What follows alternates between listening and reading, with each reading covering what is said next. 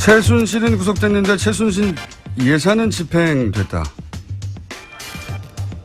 지난해 문체부가 집행한 최순실 관련 예산 규모가 3천억이 넘는다는 분석이 나왔습니다. 이 문제를 제기한 더불어민주당 노웅래 의원 스튜디오에 직접 모셨습니다. 안녕하십니까? 예, 노웅래 의원입니다. 아하. 3,200억의 예산이 최순실 사업이라고 묶일 수 있는 예. 사업에 어, 최순실 구속 이후에도 예산이 지금 사용됐다 이런 거 말씀이잖아요. 그렇죠. 뭐, 저, 최순실이는 구속이 되고 네. 국정농단 사건이라고 규정은 됐지만 예산이 작년에 통과가 됐잖아요. 네. 그러니까 예산이 지금 통과, 집행하라고 통과가 됐기 때문에 잘못이 있고 하더라도 책임은 물을 수 있고 잘못했다고 할 수는 있지만 돈은 쓰고 쓰여지고 아. 그렇죠. 돈은 안 쓸. 수가 없게 돼 있는 거죠. 근데 뭐 지금 그 예산 규모가 3,227억으로 지금 나와 있고요. 16개 사업이다 이렇게 보는 겁니다. 그. 찾아내신 예. 최순실 사업으로 분류할 수 있는 사업이 16개 문체부에서만 그렇죠. 문화, 문화체육 관련해서만 문화, 문화체육만 관련해서 주로 이제 문화체육 쪽에다 주로 한 거거든요. 네. 그래서 이제 뭐 그렇다고 예산에 뭐 꼬리표가 달린 건 아니죠. 뭐 박근혜 최순실 예산이다 국정농단 예산에 꼬리표가 달린 건 없죠. 그렇게 없지만, 없지만 이것이 그러면 예. 최순실 예산이라고 골라낸 기준이 뭡니까? 그럼 최순실 예산과 이제 최순실과 직간접적으로 관련된 국정농단 예산이라고 우리가 볼 수 있는 거 예. 이렇게 골라낸 게 3,227억이요. 1억이고요. 그거 이제 우리 혼자서 우리 우리 의원 사무실에서 한 게 아니고 그 나라살림연구소라고 아, 해서 예. 예. 산을 전문적으로 그 연구하는 예, 그 연구소랑. 네, 우리가 의뢰를 해서 예. 정창수 박사 소장이 있는 네, 네. 거기랑 분석을 했고요. 보면 흥분한다는 분들이죠. 일단은 국, 지금까지는 이저 이 결산에 대해 결산은 사실상 우리가 주로 예산 주로 심의 위주로 했고 결산은 그냥 대충 대충 요식행위식으로 통과의식으로 해왔던 게 그러니까 국회 관행이었어요. 솔직히. 2016년의 예산이 아니라 예. 예산이 어떻게 쓰여졌냐는 결산서를 분석한 겁니까? 그렇죠. 예산 예산을 어. 그러니까 하나하나 어떻게 집행됐는지 그걸 들여내 본 거죠. 국가 예산 결산서라고 그러면 뭐 100장, 200장 아닐 것 같은데요. 아, 이 엄청 많죠. 수천 장이죠. 수천 장을 다 숫자를 하나하나 봐가지고. 그렇죠. 이게 이제 처음에 이제 예산이 잡힌 거랑 네. 실제로 쓰인 거랑 그리고 이제 성과도 있을 거고 집행률이 다 나올 거 아닙니까? 근데 그 과정에서 어떻게 이게 계약이 됐고 수의 계약인지 경쟁 입찰인지 공모를 한 건지 서부터 해서 그게 음. 또 위탁을 줬는지 용역을 줬는지 이런 것부터 한번 다 뒤져본 거고요. 결산 예산 결산서 몇, 한 몇천 장은 될 것 같은데. 예. 몇천 장 되죠. 그러면 몇천 장을 다 분석하는 의원실은 전 본 적이 없는 것 같은데요. 요번에 아마 이 결산을 아마 분석한 거는 아마 처음일 수도 있을 겁니다. 근데 막 국정농단이기 때문에 한 거고요. 네. 사건이 몇한 개월 하셨습니까, 이거를? 한 몇 개월 걸렸습니다.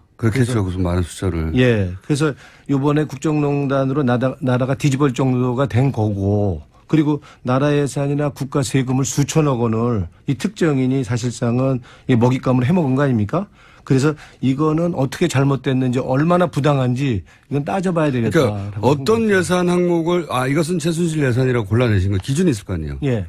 어떤 기준으로 하신 거예요? 일단은 이제 그 예산이 뭐 부당하거나 잘못 집행되고 그리고 음. 공정이 지금 이렇게 진척이 안 되는 예산 가운데 근본적으로 너무 지나치게 이건 아무리 봐도 타당성도 안 되고 이건 누가 봐도 이건 말도 안 되는 예산인데 이게 집, 이게 집 예산이 잡혔고 집행이 됐다 그런다면 이게 그걸 이제 쫓아가 역으로 쫓아가 본 거죠. 네, 그래서 왜 이게? 잡혔냐 그러면 기본적으로 그 관리들이 공무원들이 그거에 네. 대해 대답을 할 수가 없는 거죠. 그래서 이제 그런 과정에서 감사원도 조사를 했고 특검도 조사를 했지 않습니까? 예. 그러면서 이제 그게 중간중간 나왔고 우리는 이제 중간중간 나와 있는 얘기를 기초로 해서 예산서를 보고 직접적으로 확인을 해본 거죠. 음, 예를 들어서 미르 관련 뭐 K스포츠 관련 등등 이미 알려진 것들이 예. 국가 예산 속에서 어떻게 책정돼 있나 찾아, 예. 찾아가 보신 거군요. 그렇죠. 이제 숫자를 이제 구체적으로 한번 이게 저 찾아가 본 거죠. 그래서 찾아가서 어, 모든 케이스를 다 보셨으니까 그중에서 16개를 골라내셨으니까 예. 16개를 골라낸 사업들의 특징, 패턴 뭐 이런 게 있을 거 아닙니까? 뭐 기준이라고 할까요? 예, 예. 뭐 그런 게 있다 뭐, 그런다면 예, 예. 예. 뭐 결국에는 이 뭐 예산이라는 게 최순실 씨가 이제 직접 기획을 했다든지 이 네. 예산을 아니면 차원택이나 김종창 같은 최순실 관련자들이 관여한 국가 예산 사업을 이제 총칭해서 이제 이걸 표현한 거고요. 예. 그, 그러면 그런 예산에 드러난 16개 사업의 공통된 특징이 뭡니까? 공통된 특징은 이제 말씀드린다 그런다면 이 사업은 기본적으로 그 사업 자체가 그. 사업들은 전부 적이 안 돼 있죠. 법적 근거가 없습니다. 법적 근거가. 첫 번째 특징이. 예.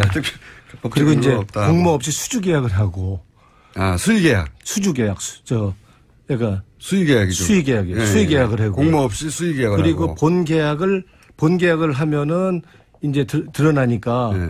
본 계약은 놔뒀다가 보통 하청. 이나 위탁이나 재하청이나 재위탁이나 이런 식으로 이제 합청에 하청을 하는. 그렇죠. 그래서 이 비위나 이런 잘못이 드러나지 않게끔 하는 수법으로 해서 그러면은 이 이제 들어간 사업이.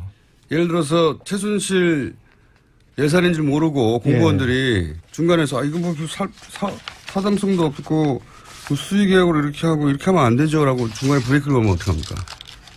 보통 이제 그게 이제 그 수동적으로 이제 다 이제 일정 부분 다 관여가 돼 있다고 보는 거고요. 네. 본인들이 이제 눈치 빠르게 영혼 없는 공무원이라는 얘기가 거기서 나온 거 아니겠어요? 그래서 대충 이제 위에서 시키니까 그러니까 직접적으로 아주 저 공격적으로 이 사업에 관여해서 자기가 잘못된 사업, 타당성이 없는 사업을 자기가 집어넣도록 하지는 않았지만 약간 정도 차이는 있더라도 하여튼 지금 공무원들은 일정 부분은 다 책임이 있다고 할 수가 있는 요 거죠. 16개 사업에 관련된 공무원들 일정 정도 책임을 물어야 된다. 그렇죠. 근데 하고 싶, 하고 싶지 않다까지는 아니어도 좀, 아, 그렇게 급한지를 몰라서 이렇게 천천히 진행된다. 네. 뭐 이런 수도 있지 않습니까? 그럼 뭐 청와대에서 연락 간다든가, 최순실 씨로부터 연락 간다든가 아니면 그들이 알아들을 수 있는 뭐 메시지가 가나요? 근데 지금 일단은 이제 작년에 이제 이렇게 이제 국정농단 예산이 최순실이가 움직여서 뭐 실제로는 최순실이가 움직이기보다는 사실상 이 큰 틀에서 보면은 박근혜 대통령, 대통령 지사항이죠. 그렇죠. 박- 박근혜 예. 대통령이 총 감독을 한. 거고요. 예. 그리고 이제 최순실이 주연을 한 거고 그러니까 문화예산은 차은택이가 맡아서 국정농단 그러니까 이제 이권 챙기기를 한 거고 채용예산은 김종차관이 한 거다. 그래서 그두두 사람이 조연을 맡아서 한 이권 챙기기, 국가 예산, 나라 책임을 이권 챙기기 한 거다 이렇게 볼 수 있는 거죠. 그 일반적인 감사로는 지금 말씀대로 하자면 재하청에 재하청을 하면 일반적인 감사로는 의회 국회에서는 찾아낼 수 없었겠습니다. 지금은 그걸 찾아내려고 끝까지 가본 것이지 예. 일반적으로는 재하청에 재하청까지 안 가지 않습니까? 보통은 우리가 본 예산만 보지 하청, 재하청, 용역 이런 사업은 그동안 잘 안 봐왔던 게 사실이고요. 그러니까요. 점검을 안 했던 게 사실이죠. 그러니까 이번 사건을 통해서 이제 우리가 이제 새로운 우리가 여기서 뭔가 교훈을 얻는다 그런다면 하청이고 용역이고 위탁 사업이라도 정보 우리가 다 투명하게 공개돼서 관리할 수 있도록 감시할 수 있도록 이렇게 해야 된다고 보는 거죠. 재하청에 재하청까지 이번에 확인했더니 그 끝에 가면 그럼 그 재하청의 재하청 회사들은 최순실과 관련이 있거나 예. 아니면은 예를 들어서 최순실 씨 저희도 몇 번 다뤘는데 그 수법 중에 하나가 새로운 회사를 갑자기 만들거든요. 그렇죠. 그래가지고 재하청 재하청 어딘가에 쑥 끼워 넣거든요. 예. 그런데 그 회사가 새로 만들어졌는데도 불구하고 덜썩 계약이 돼요. 그렇죠. 그런 패턴인데 예. 확인이 됐나요? 그런 것도? 그렇죠. 확인이 됐죠. 그러니까 그러니까 이제 보통은 본 계약이 안 들어가고 예. 하청이나 위탁이나 이렇게 들어간단 말이에요. 그러려면 신생 기업을 이렇게 만들어서 예. 그 기업이 그 위탁이나 이제 좀 용역을 따도록 예, 예. 그렇게 유도하는 수법으로 이제 이제 그 사업을 따내는 거죠. 그러니까 K나 미르가 앞에 나오고 그 다음에는 어 새로운 회사가 밑에 나온다든가. 그렇죠. 그래서 본 계약에는 없고 하청 기업이나 위탁 기업, 용역 이런 국가 예산이 사업에 어떻게 적용 어, 집행되는지 잘 아는 사람들이 한 거네요, 그죠? 그러니까 치밀하게 준비했다고 볼 수 있고요. 이게 네. 나쁜 행동을 했지만 아주 교묘한 진짜 머리가 비상한 사람들의 지금 아주 그 거대한 이건 국정농단 프로젝트라고 할 수 있는 거죠. 그러니까 국가 예산이 그 돈이 최종적으로 어디가 어디로 흘러가는지 모른 채 예. 꽂히면 그게 흘러 흘러 흘러 가지고 최순실 씨의 주머니로 안정적으로 지속적으로 흘러가도록 만드는 구조를 만들려고 했다 이렇게 보면, 보면 됩니까? 그렇죠. 그러니까 이제 신생 기업 만들어서 하청이나 재하청 주고 위탁, 재위탁까지 하는 수법을 해서 이제 국가 국민 세금 나라 예산 이제 교묘하게 다 빼먹은 거라 할수 있는 거 아닙니까? 그러면 16개 사업 중에 예를 들어서 규모가 가장 큰 거는 구체적으로 어떤 사업입니까? 뭐 지금 16개 사업이 되고 국정농단 예산 최순실 관련 예산이 3,227억이라고 말씀드렸는데 사실상 음. 이거는 빙산의 일각이죠. 깃털 일수만 이- 이- 있을 수라고 할 수 있습니다. 네. 그러니까 이게 전부라. 근데 이제 16개 밝혀진 것 중에 예. 제일 큰 규모 제일 큰 규모는 여기서 이제 우리가 얘기한다 그러는데 그 문화창조 융합벨트 사업이 대표적으로 이제 큰 사업이라고 할 수 있죠. 창조 예, 예. 예. 아까- 씨가 했던 그렇죠. 예. 아까 말씀드렸 지만 16개 사업들이 공통적으로 공모 없이 수의 계약하고 예. 예산 집행 세, 세부 현황을 공개하지 않고 예. 타당성 조사 근거 조작하고 사업 타당성 결여됐고 이런 건 공통적인 이런 저거고요. 근데 이거는 문화체육 예산만 국한했기 때문에 최준실의 국정농단 예산은 어- 다른 부처까지 다 한다면 엄청난 규모겠죠. 근데, 이제 문화창조 문화체육 벨트는 얼마나 됩니까? 예, 거기 합, 합, 합친다 그런다면 이제 아까 말씀드린 3,227억인 거고요. 이 문화창조 융합벨트 사업에 보면은 2015년에는 80억이었어요, 규모가. 85. 근데 작년 2016년에는 904억이 10배가 넘게 된 거죠. 급증이 합쳐. 천억 정도 되는 예, 거예요. 그리고 얘네들이 원체 이제 계획에 했던 거는 총 사업 기간은 6년 후 잡고 7천억 이상을 7천억을. 투입하겠다. 이제 문화창조 융합벨트 사업에만 이렇게 하던 엄청난 거대한 프로젝트였던 거죠. 이 사업도 말씀하신 공통점 법적 근거가 없습니까? 법적 근거 없습니다. 그래서 이게 법적 근거가 없기 때문에 네. 법적 근거가 없대 법적 근거를 만들라고 했죠. 아 없으니까. 그렇죠. 그러면 왜냐면 법- 법을 만들어 놓고 이걸 시행한 겁니까? 그러니까 아니면 예산은 예산은 법적 근거가 있어야 예산 쓸 수 있는데 그렇죠. 법적 근거가 없으니까 예산을 쓰면서 나중에 문제될 것 같으니까 법적 근거를 만들기 위해서 작년 9월 달에 네. 옛날에 새누리당이죠. 지금 자유한국당 거기에 의원원에서 청부 입법을 합니다. 아, 청부 입법. 그러니까 말씀하신 대로 대부분 법적 근거가 없는 사업인데 공통점은 예. 근데 이제 나중에 문제가 될 것 같으니까 예산을 먼저 배정하고 예, 쓰고, 그리고 계속 나서 쓰고. 계속 쓰면서 예. 법적 근거는 나중에 누군가를 시켜서 법안을 발의했다. 예. 그래서 지금 지금 계류 중입니다. 통과 안 됐습니다. 그러니까 사실상은 지금 예산 집행이라는 게 말도 안 되는 거죠. 엉터리인 거죠. 그러니까 누구 누군가요? 예? 누구 누구 냐고요? 청부 청부입법. 이렇게 이응되는 의원인데요. 이거는 그냥 우리 홈페이지에 우리 국회 입법부 홈페이지에 들어가서 예. 저 우리 이렇게 찾으면은 바로 나올 수 이- 있을 겁니다. 이 예산 관련해서. 이응이요? 뭐, 예, 이응 의원인데요. 이응 그럼 중간 이 어떻게 되면 이, 이 씨인가 보죠. 이 씨, 그죠? 그렇죠. 이 씨랑 뭐, 뭐 들어가는 의원인데요. 중간 글자만 알려주세요, 그러면. 뭐 지읒도 들어가고 뭐 그런 의원인데 홈페이지에 들어가서 이. 콘텐츠 사업진흥법 이렇게 치면은 친박 의원이죠? 네? 아이 당연히죠. 친박 중에 대표적인 뭐 우리 손꼽히는 친박 의원이고요. 이지효씨요? 예. 그래서 법률 명만 이게 검색하면 이장호 의원이요? 누가 대표 발의고 공동 발의 누가 했는지 다 나옵니다. 이장호 의원이군요. 예. 자, 알겠습니다. 지금, 아, 오늘은 사실은 16개 사업을 다 다루지는 못하고 오늘은 맛보기로 이제 하는 건데 의원님이 재밌게 하시면 또 하려고요. 그래서 저희가 맛보기로 준비했는데. 여기 저, 저 여기 아주 구체적으로 한 사업 예를 보면요. 예, 예. 문화창조 융합벨트 사업의 세부 사업 하나를 보면요. 예. 문화창조 아카데미 사업이라는 게 있습니다. 예. 연간 예산이 36억인데 예. 교육생은 39명입니다. 그러면 1인당 교육비로 1억씩 썼다는 이게 어, 이런 예산 야. 이런 예산이 어디 있습니까? 그러니까 이렇게 아주 뭐 거의 눈먼도 그냥 뭐 그냥 먼저 보는 사람이 임자식으로 그냥 해먹은 건데요. 그러니까 대표적으로 이런 식으로 하여튼 그냥 규정을 지키는 거 하면서 구조적으로 해서 굳고 다 새나가게끔 이렇게 해서 이속 챙긴 이렇게 해먹었다라고 하는 게 그 문화창조 융합본부장 했다가 한 달 만에 경질된 이 여명숙 게임 관리위원장의 증언입니다. 국회 와서 한 이렇게 얘기. 해먹었다. 예. 이게 이제 그분이 보고서 이게. 뭐냐고 했죠. 예. 도대체 이 돈이 왜 이렇게 쓰이냐고. 그래서 그 세금 집행 내역서를 좀 보자 그러니까 지금 안 보여준 거 아닙니까? 그. 잘려, 잘린 것이고. 그렇게. 예. 그래서 국장들 보여주니까 그 장관한테 불려가서 너 왜 그거 볼라 그러냐? 너 그만둬라 해서 이제 한 달 만에 잘린 거죠. 그 책임자가 아니 이돈 돈 어떻게 된 거예요? 이거 왜 이 돈을 쓰고 있어요? 그랬더니 그런 거 알 필요 거. 없다고 알 그랬더니 필요 없다고. 그 밑에 국장이. 그게 바로 이제 네. 최순실 씨가 박근혜 전 대통령의 대통령 권한을 통해서 국가 예산을 VIP 관심 사항이라고 쭉 뿌려서 예. 어 둘이 툭툭툭 내려와서 결국은 최순실 씨 관련된 신생 회사가 끝에 하청 재하청을 거쳐서 어, 자기 주머니에 들어가는 그런 국가를 국가 예산을 비즈니스 모델한 모델화한 그런 사업 16가지를 발견하신 거죠, 지금. 예. 그 중에 그 여명숙 위원장한테 그런 거 알 피, 그 예산 구- 세세한 내역 알 필요 없다고 한 국장은 이번에 감사원에 감사 받았는데요. 이번에 뭐 받았겠습니까? 주의밖에 안 받았습니다. 그래요. 예. 네. 그래서 본인은 별로 책임 없다라고 본인은 대로 주장하고 있죠. 시킨 대로 했, 다 예. 정도겠죠. 그러면은 이게 지금 문화체육 예술 분야에서만 16개 3천억대, 3,200억대요? 예, 예, 3,227억입니다. 을 만- 어, 찾아, 찾아내신 것이고. 예. 그럼 그 외에 뭐 외, 외교부도 있잖아요. 미얀마 대사관 ODA 사업. 그죠? 예. 외교 지금 산하에. 이제 저희들이 이제 분석한 거는 문화체육에서만 분석을 한 거고요.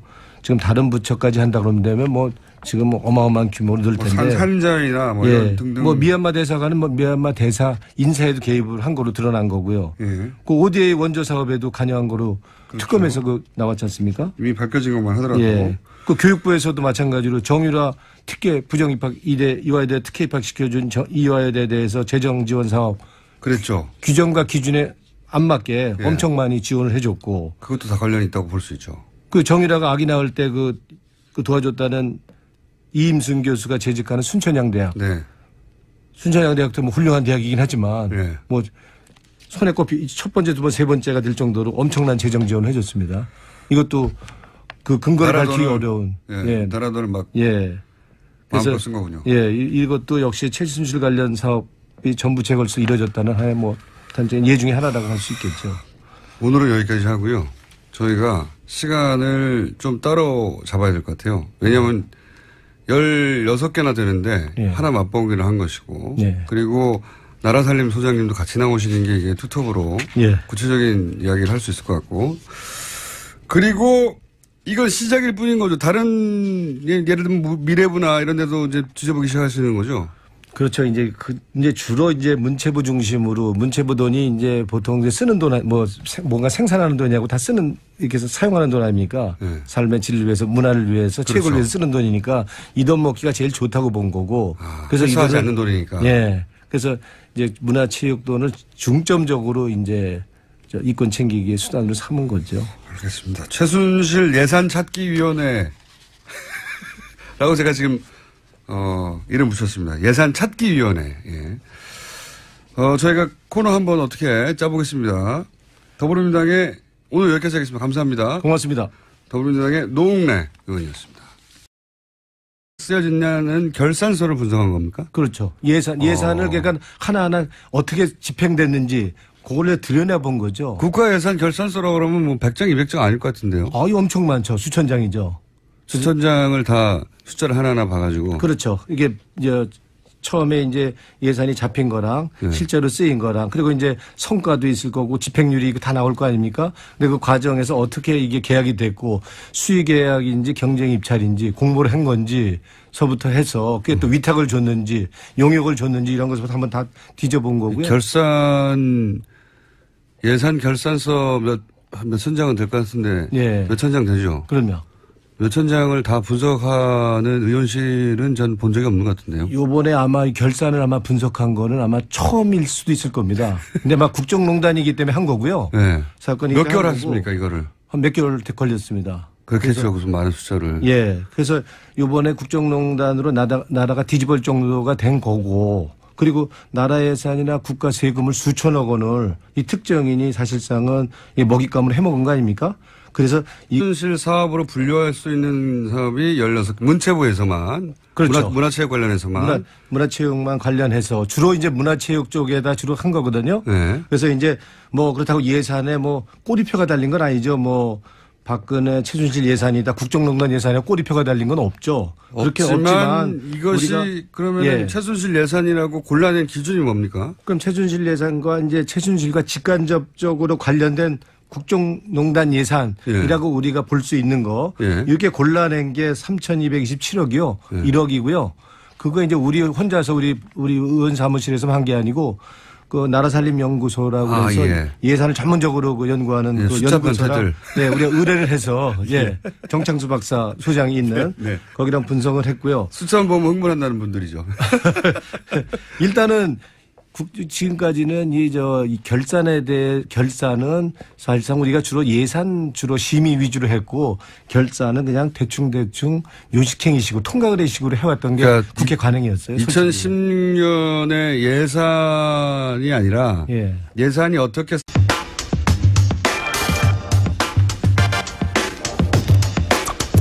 최순실은 구속됐는데 최순실 예산은 집행됐다. 지난해 문체부가 집행한 최순실 관련 예산 규모가 3천억이 넘는다는 분석이 나왔습니다. 이 문제를 제기한 더불어민주당 노웅래 의원 스튜디오에 직접 모셨습니다. 안녕하십니까? 예, 노웅래 의원입니다. 아하. 3,200억의 예산이 최순실 사업이라고 묶일 수 있는 예. 사업에 어, 최순실 구속 이후에도 예산이 투입 사용됐다 이런 거 말씀이잖아요. 그렇죠. 뭐, 저, 최순실이는 구속이 되고, 네. 국정농단 사건이라고 규정은 됐지만, 예산이 작년에 통과가 됐잖아요. 네. 그러니까 예산이 지금 통과, 집행하라고 통과가 됐기 때문에, 잘못이 있고 하더라도, 책임은 물을 수 있고, 잘못했다고 할 수는 있지만, 돈은 쓰고 쓰여지고 그렇죠. 돈은 안 쓸. 수가 없게 돼 있는 거죠. 근데 뭐, 지금 그 예산 규모가 3,227억으로 지금 나와 있고요. 16개 사업이다, 이렇게 보는 겁니다. 그. 찾아내신 예. 최소- 이거는 어떻게 잘못됐는지 얼마나 부당한지 이건 따져봐야 되겠다. 그러니까 어떤 예산 항목을 아 이것은 최순실 예산이라고 골라내신 거 기준이 있을 거 아니에요. 예. 어떤 기준으로 하신 거예요? 일단은 이제 그 예산이 뭐 부당하거나 잘못 집행되고 그리고 음. 공정이 지금 이렇게 진척이 안 되는 예산 가운데 근본적으로 너무 지나치게 이건 아무리 봐도 타당성도 안 되고 이건 누가 봐도 이건 말도 안 되는 예산인데 이게 집, 이게 집 예산이 잡혔고 집행이 됐다 그런다면 그걸 이제 쫓아가 역으로 쫓아가 본 거죠. 네, 그래서 왜 이게? 잡혔냐 그러면 기본적으로 그 관리들이 공무원들이 그거에 대해 네. 대답을 할 수가 없는 거죠. 그래서 이제 그런 과정에서 감사원도 조사를 했고 특검도 조사를 했지 않습니까? 예. 그러면서 이제 그게 중간중간 나왔고 우리는 이제 중간중간 나와 있는 얘기를 기초로 해서 예산서를 보고 직접적으로 확인을 해본 음, 거죠. 예를 들어서 미르 관련 뭐 K스포츠 관련 등등 이미 알려진 것들이 예. 국가 예산 속에서 어떻게 책정돼 있나 찾아, 예. 찾아가 보신 거군요. 그렇죠. 이제 숫자를 이제 구체적으로 한번 이게 저 찾아가 본 거죠. 그래서 찾아가서 어, 모든 케이스를 다 보셨으니까 그중에서 16개를 골라내셨으니까 예. 16개를 골라낸 사업들의 특징, 패턴 뭐 이런 게 있을 거 아닙니까? 뭐 기준이라고 할까요? 예, 뭐 예. 그런 게 있다 뭐, 그런다면 예, 예. 예. 뭐 결국에는 이 뭐 예산이라는 게 최순실 씨가 이제 직접 기획을 했다든지 이 네. 예산을 아니면 차원택이나 김종창원 같은 최순실 관련자들이 관여한 국가 예산 사업을 이제 총칭해서 이제 이걸 표현한 거고요. 예. 그, 그러면 그런 예산에 드러난 16개 사업의 공통된 특징이 뭡니까? 공통된 특징은 이제 말씀드린다 그런다면 이 사업은 기본적으로 그 사업 자체가 없다. 사업들은 전부 적이 안 돼 있죠. 법적 근거가 없습니다. 법적 근거가. 첫 번째 특징이 예. 그리고 이제 없다. 공모 없이 수주 계약을 하고 아, 수의계약. 수주 계약 수, 저 그러니까 수의계약이죠. 수의 계약이에요. 수의 계약을 하고. 공모 없이 수의계약을 그리고 하고. 본 계약을 본 계약을 하면은 이제 드, 드러나니까 네. 본 계약은 놔뒀다가 보통 하청. 하청. 이나 위탁이나 재하청이나 재위탁이나 이런 식으로 이제 합청에 하청을 하는. 그렇죠. 그래서 이 비위나 이런 잘못이 드러나지 않게끔 하는 수법으로 해서 그러면은